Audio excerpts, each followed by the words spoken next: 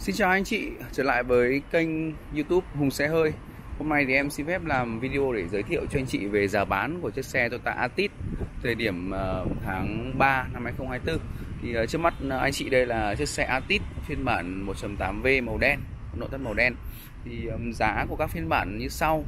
Altis có 3 phiên bản và đều được nhập khẩu nguyên chiếc từ Thái Lan Và có 3 phiên bản là 1.8G Có giá niêm yết là 725 triệu.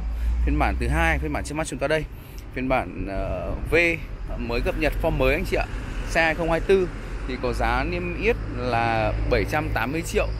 Và phiên bản cao cấp nhất là phiên bản HEV phiên bản xăng lai điện thì có giá niêm yết bản 2024 bản mới thay đổi là 870 triệu. Thì với cái giá niêm yết như trên và chính sách bán hàng hiện tại thì hiện tại thì bên em chỉ còn duy nhất là phiên bản 1.8V thôi. Và có giá hỗ trợ cho anh chị là 10 triệu tiền mặt cộng với gói phụ kiện chính hãng.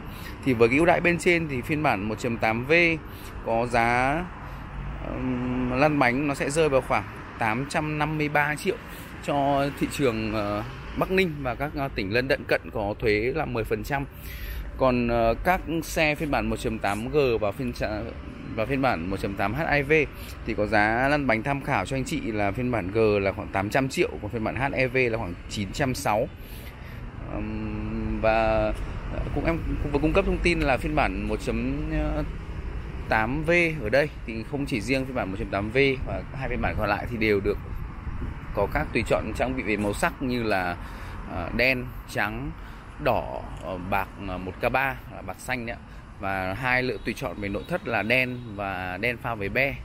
Đa số thì Atit anh chị sẽ thích là màu ờ, ngoại thất là màu đen hoặc là màu ờ, trắng, màu chai. Thì ờ, nó sẽ hợp với cả dáng xe Atit hơn. Và thứ hai là phiên bản nội thất thì nó, nội thất thì cái tỷ lệ theo em đánh giá là cũng 50 50.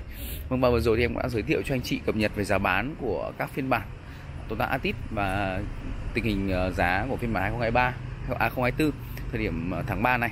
Và tiếp theo thì em sẽ giới thiệu cho anh chị một chút về chiếc xe Toyota Atit phần đầu xe của phiên bản ờ, 2024 đã được cập nhật cái mặt ca lăng mới này.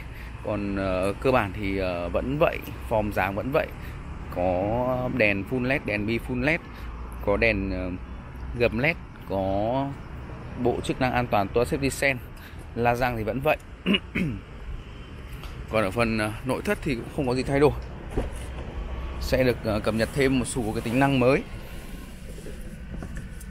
Xe thì được cập nhật ờ, lắp ráp ở Thái Lan và nhập khẩu nguyên chiếc về.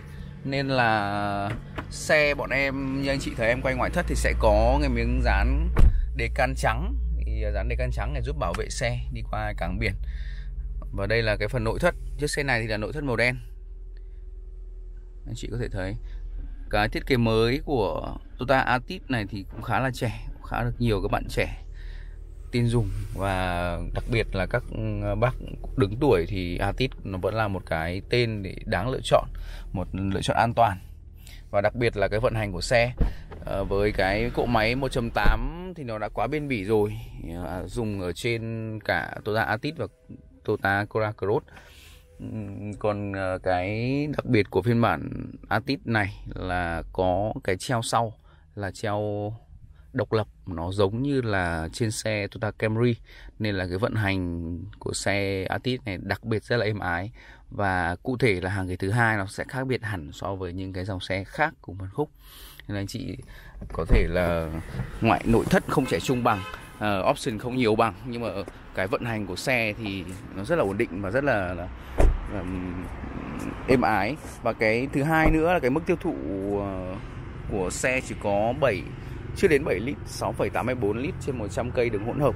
Thì vừa tiết kiệm vừa êm ái mà lại ờ, ổn định. Và đặc biệt là xe bên em có một cái mức bảo hành rất là lớn bảo hành rất là lâu ờ, 5 năm hoặc 150 nghìn cây tùy theo điều kiện nào đến trước.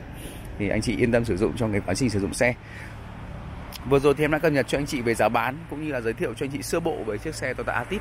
Anh chị nào ờ, cần em tư vấn thêm hoặc là liên hệ đặt xe thì vui lòng liên hệ giúp em có số hotline em để trên màn hình. Em xin phép anh chị những video tiếp theo. Xin chào và hẹn gặp lại.